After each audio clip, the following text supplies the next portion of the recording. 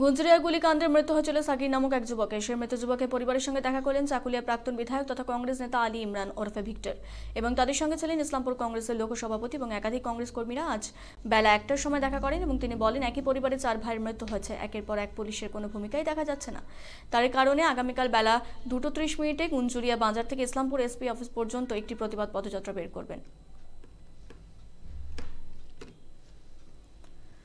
मेरा नाम मोहम्मद समीरुद्दीन है मोहम्मद समीरुद्दीन भाई। आपके जो बाकी भाइयों का कत्ल हुआ है जी जी। वो किस दौरान हुआ है? ये छः सात साल मौत ही मर्डर हुआ है चार भाई का मेरे। अच्छा। चार भाई का कैसे मर्डर हुआ था? और सब किसी को गोली से शूट किए हैं किसी को कत्ल किया किसी को चाकू मारे इसी तरह चार भाइयों का मर्डर हुआ है 2012 से लेकर अब तक। आप लोग थाना में केस किए थे? हाँ थाने में ना केस होगा इस्लामपुर थाने में केस हुआ है बाजबता। अच्छा। जी। उसके बाद क्या हुआ था? कोई क्या हुआ? पुलिस जो है अपने हिसाब से कार्रवाई की जिसको अरेस्ट करना था अरेस्ट किए उसके बाद छोड़ दिए तीन महीने में। अब जो हमारा काम था थाने में केस करने का हमारे आदमी को मारे हम थाने में केस कर दिए। अरेस्ट करना सजा दिलाना क्या करना नहीं करना ये पुलिस की काम है। वो प्रशासन का काम है ये काम तो हम नहीं कर सकते हैं ना? अगर हमको मर्डर किया अगर प्रशासन की तरफ़ से हमको दो बॉडीगार्ड दे दो बोले किसी को शूट कर दो हम भी शूट कर देंगे। पर हम तो वैसा नहीं करेंगे ना हम तो लीगल जाएँगे ना।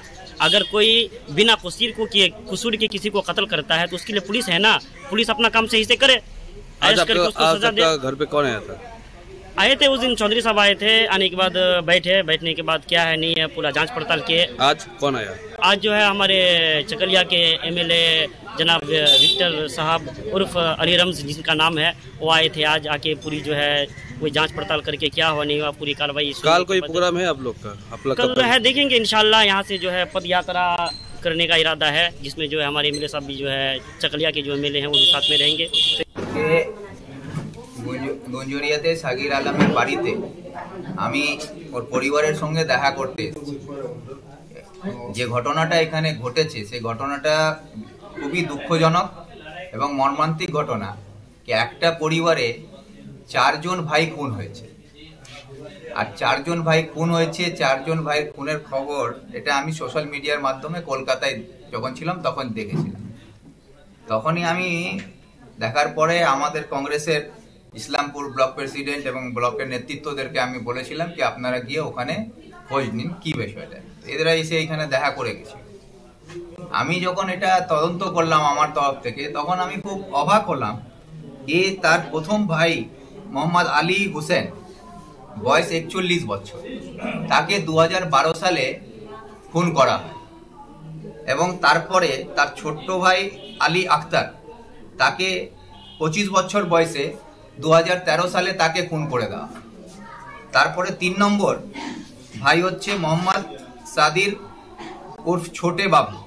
তাকে দু হাজার উনিশ সালে তাকে খুন করে দেওয়া হয় পাঞ্জিপাড়াতে। তার বয়স মাত্র চোদ্দ বছর। আর তারপরে আজকে আমরা দেখতে পাচ্ছি কি আবার সাগির আলমকে তাই পঁচিশ তারিখে গুলি করা হয় আর উনত্রিশ তারিখে সে হসপিটালে মারা যায়।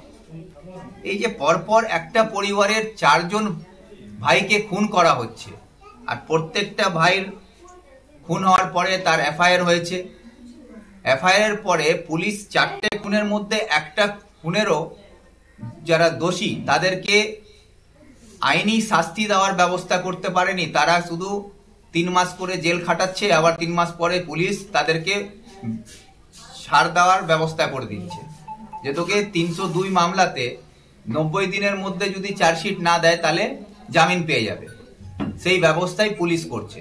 আর আজ অব্দি আলী, মোহাম্মদ আলী হোসেন তার খুনিরা এখনও বাজারে ঘুরে বেড়াচ্ছে। তারপরে আক্তারের আলী আক্তার সাহেবের যারা খুনি, তারাও ঘুরে বেড়াচ্ছে।